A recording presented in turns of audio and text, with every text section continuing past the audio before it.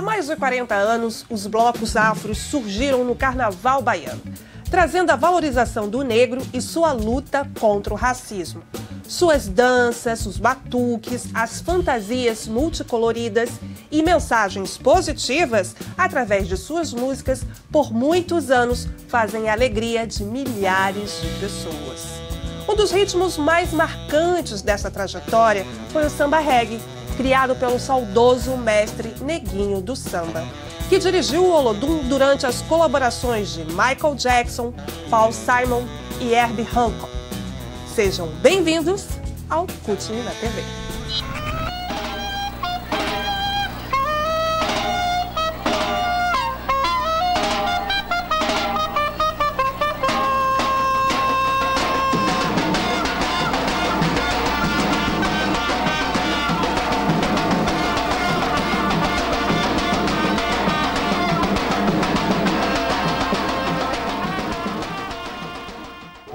O que, que, é- que é a bateria do Lodum, assim? O que, que, que, marca a bateria do Lodum, exatamente? Veja bem, eu como diretor de percussão do Lodum, eu tenho um- uma grande preocupação com os moradores do Maceió Pelourinho. Você entendeu que aqui era uma área bem discriminada, as pessoas não vinham aqui, aquela coisa toda.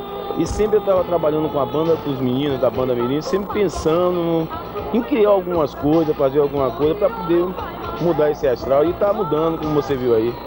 Vem 5 mil, 6 mil pessoas para o ensaio dia de domingo, entendeu? Pra mim é legal pra caramba. Coisa, tem alguma coisa na batida do- da, da bateria do Lodum, alguma coisa que caracterize ela, assim, que, enfim, que diferencie ela das outras? A única banda diferente é essa.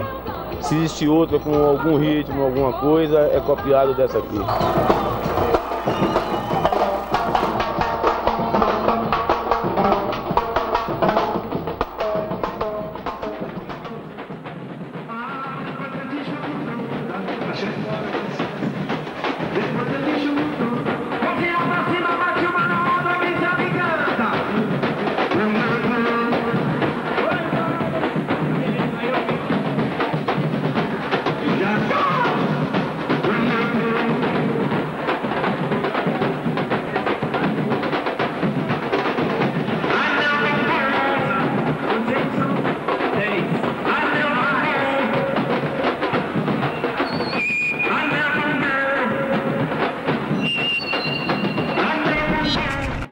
O convidado de hoje nasceu e cresceu no Centro Histórico de Salvador.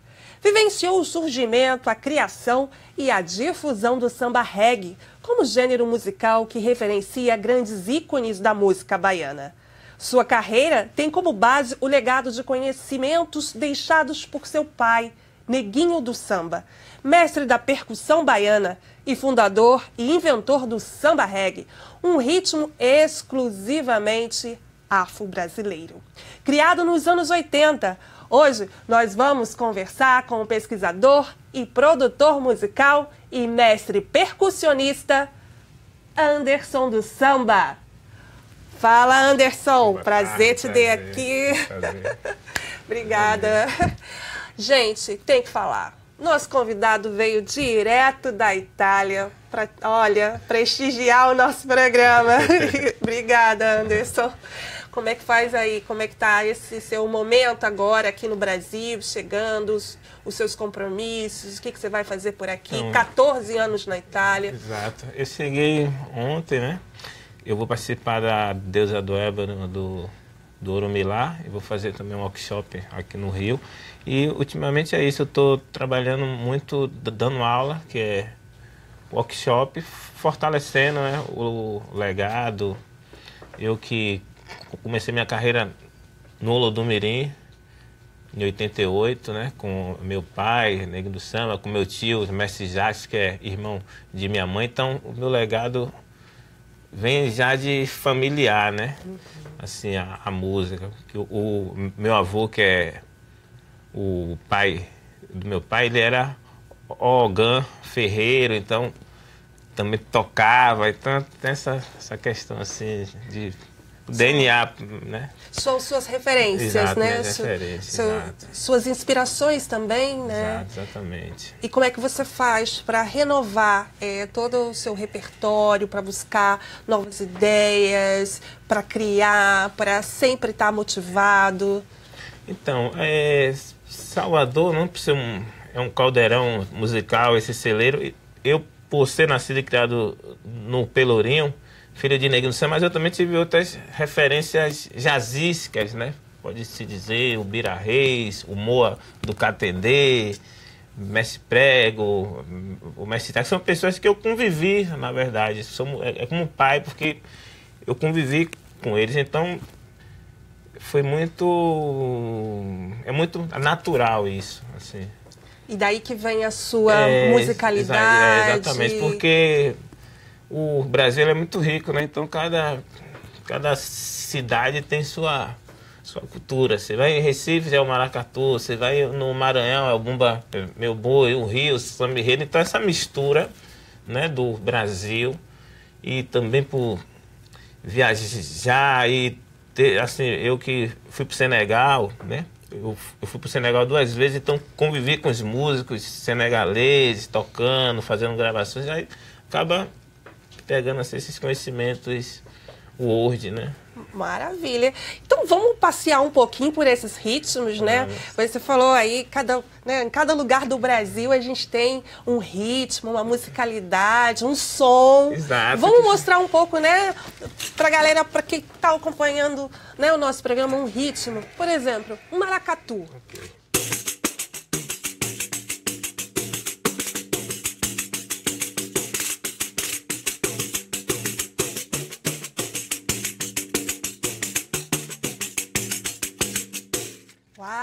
Aí a gente pode passear por quê? Por um shot? É, shot, baião, né? Porque o Jacques do Pandeiro fez muito isso, né? A gente tem né, esse, essa pessoa assim que inspirou né, muitas, né? Podendo fazer um baião.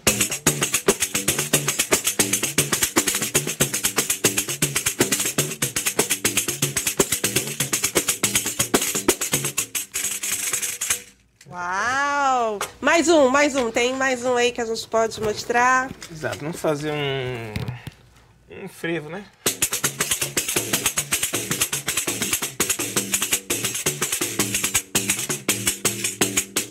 Uau, não tem como ficar parado com um ritmo desse, né? O Brasil é cheio Exato. dessa chorinho, né? musicalidade. Né?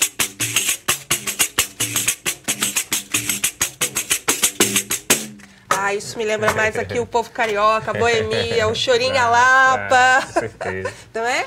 E como é que você faz para ficar lá na Europa tanto tempo, né? Tendo aí um oceano que separa, mas ao mesmo tempo uma une, música né? que une. A música, exato. Eu moro em Firenze há 14 anos, mas sempre viajando a Europa e o mundo, né? Na verdade, ultimamente é, eu fiz uma turnê agora no lá no Canadá, fui para Toronto e Montreal. Tem muitos grupos de samba reggae. Você vai nesses lugares, 100 pessoas tocando, 200 festivais. Você fica assim, às vezes é uma, eu fico às vezes até surpreso.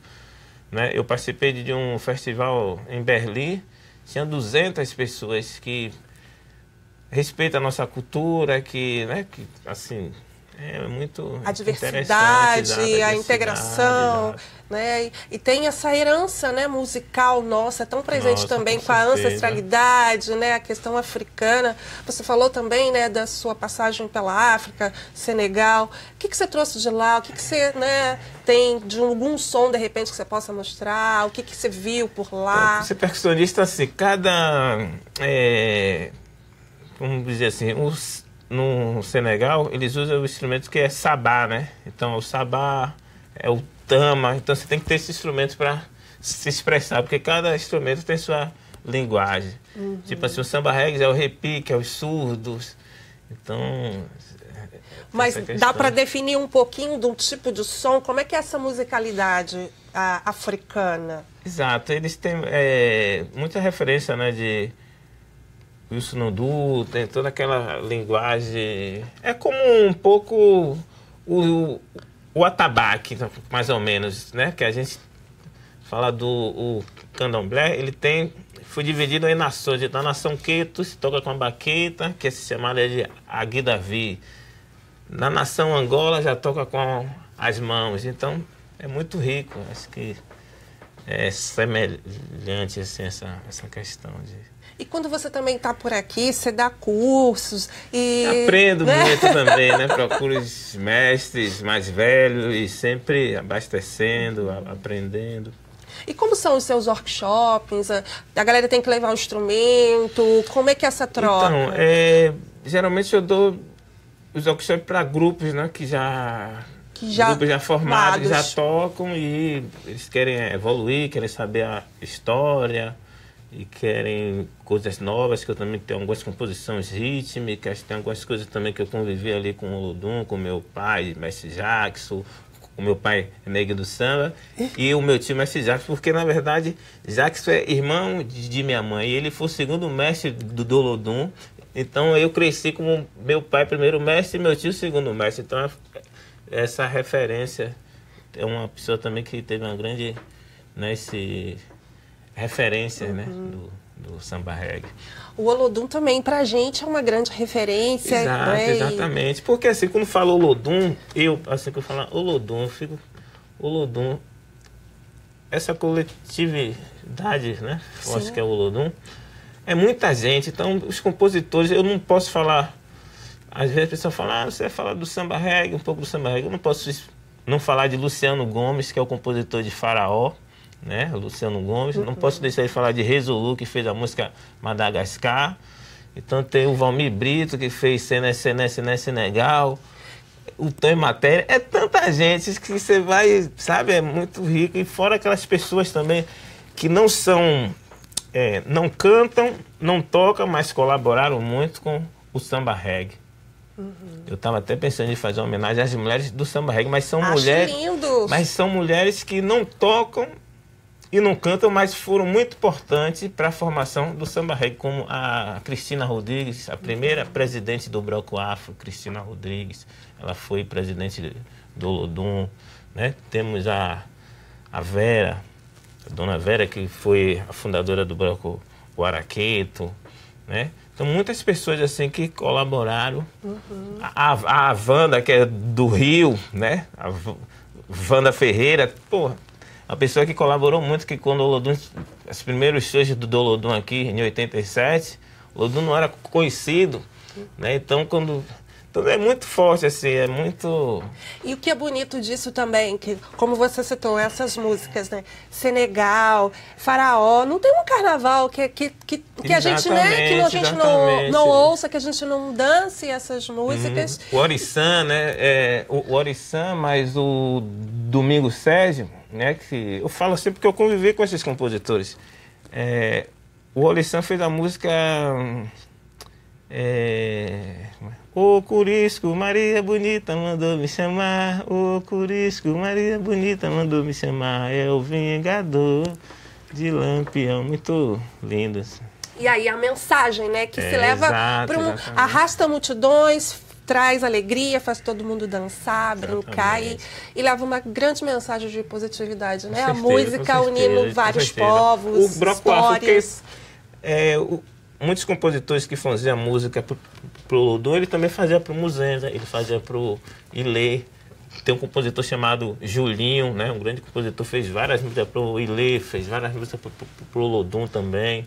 Então, tinha essa, essa questão. Eu me lembro que eu tinha oito anos e eles se reuniam no, no largo do, do Pelourinho, em um restaurante de Donadinha.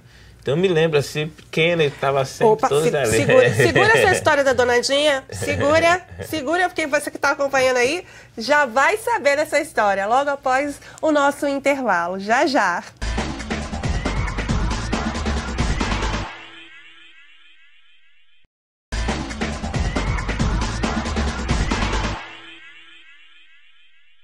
Hoje nós estamos conversando com o pesquisador e produtor musical e mestre percussionista Anderson do Samba. Anderson, a gente terminou aí o primeiro bloco e eu falei, segura, segura, segura que a gente tem uma história aqui da Donadinha. Agora chegou a hora de saber a história da Donadinha. Então, é... Donadinha, ela tinha um restaurante que ficava no Largo do Pelourinho. Isso eu me lembro em 88, eu tinha 8 anos, até 96 ainda tinha esse restaurante.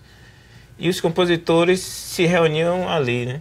Almoçavam ali e se reuniam ali. Então, eu vi muito o Tatal, o Tonho Matéria, o Valmir Brito, o Sérgio Participação, né? o Rei Zulu, Luciano Gomes, são muitos. E esses compositores faziam as músicas, às vezes ali, estavam comendo, fazia, né? Porque o Olodum, através do FEMADUM... FEMADUM é o festival do, do Olodum, é isso que exato, você se refere? o FEMADUM acontece todos os anos e foi o FEMADUM que abriu porta, né? Também para os compositores expressar, né? Essas músicas que hoje a gente ouve, que é Faraó, Madagascar. Né? Uhum. Primeiro, a, é, a, música ficou famosa no Pelourinho através do, do FEMADUM, que é o festival criado com o Lodum. Depois que as músicas foram para rádio, disco, mas já estavam consagradas lá, do povo, né? né? Já estava uhum. ali. Exato. É, e assim surgem outras também, né? Essa história Exato. se repete, não é isso? Com certeza, com certeza. É uma energia, né? É, assim, quando você fala de Pelourinho, eu fico sempre me pensando assim... A primeira vez que eu estive lá, eu senti uma energia tão grande, tão forte. Mas será que, que quem, quem mora lá, quem está sempre lá, também sente sempre essa mesma Exato, energia? Senhora. Eu, por ser nascido e criado ali, e eu, eu, eu me sinto assim, eu estou sempre é, pesquisando com os personagens, né? Porque, assim, eu digo pesquisando com os personagens porque é, é muito bom ressaltar que o Pelourinho, é, o Batatinha morou ali, o Mestre Bimba, né? o Mestre Partinha, então era um lugar que eles se encontravam, Riachão, então sempre eu tive o prazer assim, de conhecer o Batatinha. Eu tinha 12 anos que ele morava na saúde. Eu sou amigo dos filhos, dos netos, então estou sempre aprendendo, né? Porque é muito bom, assim, fortalecer. Sim. Falar desses personagens, né? Muito e tá sempre em encontros, né? Exato, São sempre exato. encontros. E falando em encontro, a gente tem um para mostrar. Vamos ver você aqui, né? Um encontro de você e outros músicos. Vamos lá?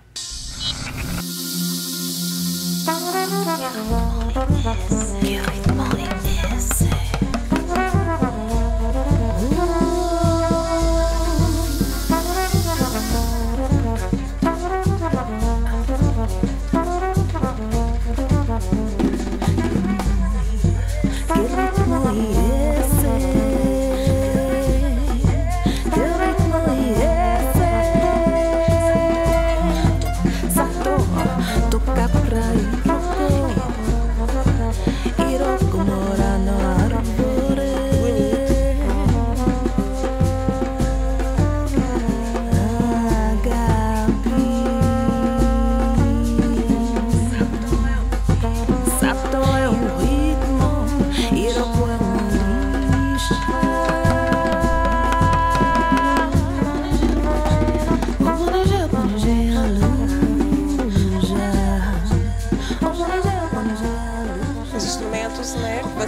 นะ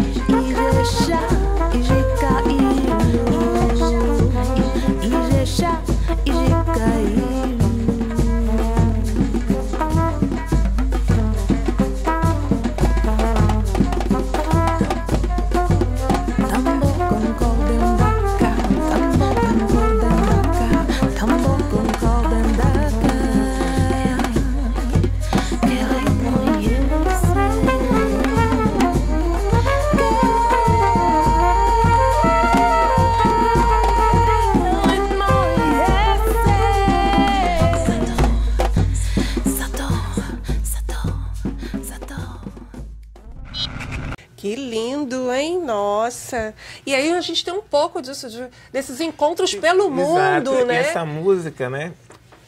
Eu fiz é, essa composição, aí convidei uma amiga que se chama Amanda, Amanda Melomé, que ela é, nasceu no Caribe, né? E mora na Europa.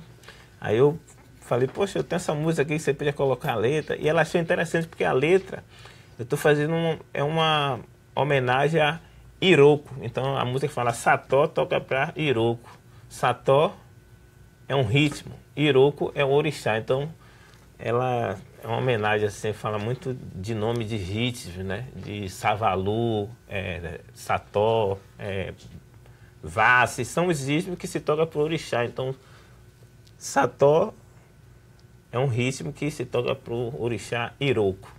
Nossa, muito bonito. E dá uma paz, a, a, a voz, é, né? Dá uma paz. E aí, é também interessante você colocar o lado do músico pelo, por esse mundo, né? Uhum. Do jeito que você fala, pela tranquilidade que você passa. Parece muito fácil, né? Mas a gente sabe que a vida do músico não é fácil. Exatamente. Quais são os desafios do músico aqui no país e do músico que vive fora, lá na Europa, como você? Uhum. Exato. Assim, eu, esses 14 anos que eu moro na, na Europa, né?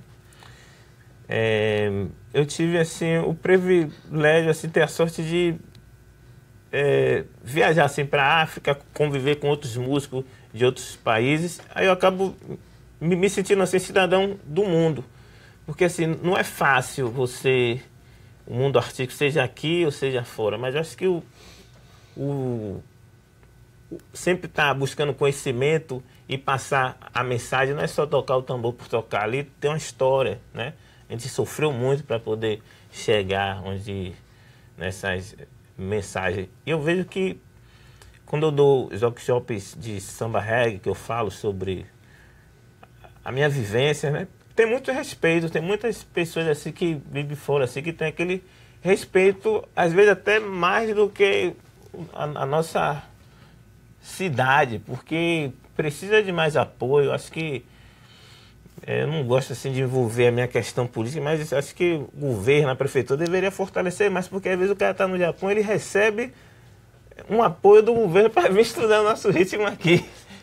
É incrível, assim, você fala né? assim, agora mesmo tem uma amiga minha falou, olha, estou indo para a Bahia e tal. Eu falei, ah, ela é, consegui com apoio aqui, estou indo pesquisar sobre os blocos já. Eu falei, pô, que legal. Então, tem pessoas que às vezes eles têm mais, eles tem um privilégio, né? Porque as coisas da gente é mais difícil, a gente tem que estar tá estudando, tem que estar tá pesquisando, inserir, às vezes precisava de mais apoio, né?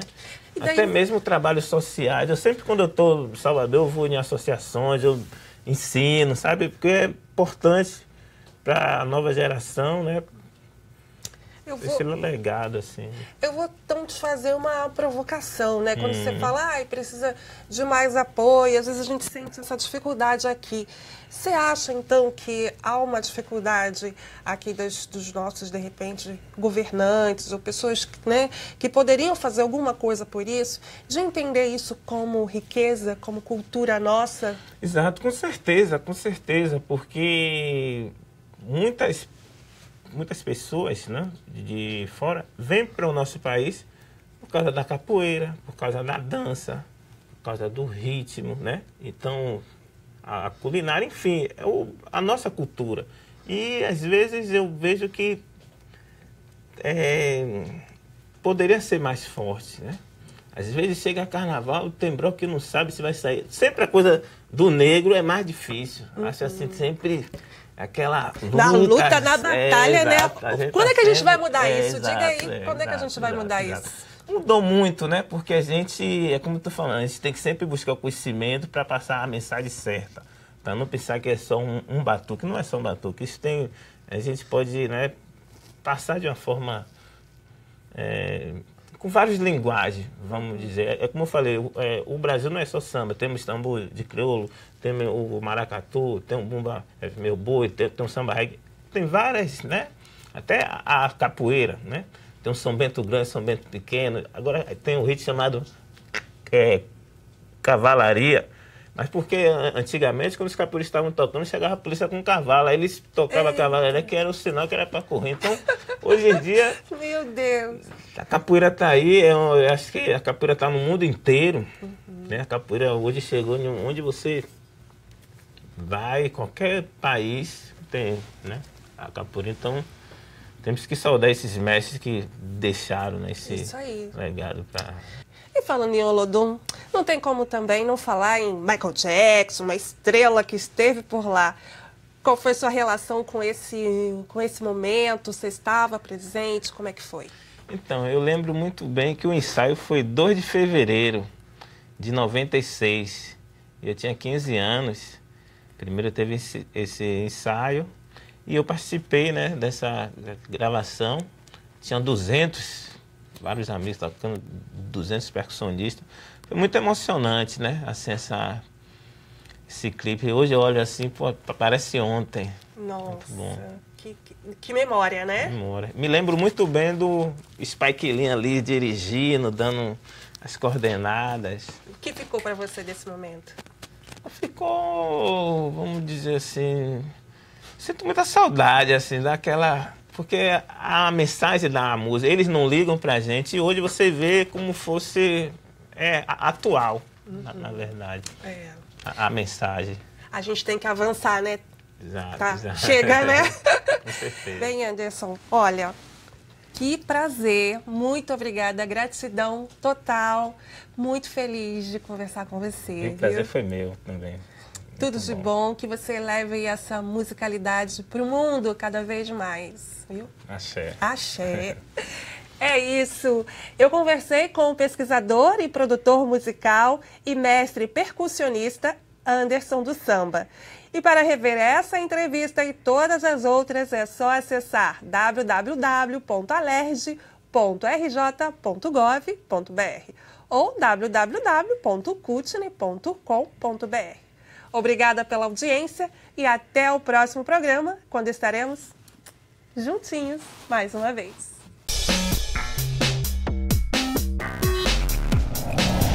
Cutne é inclusão, o negro na televisão.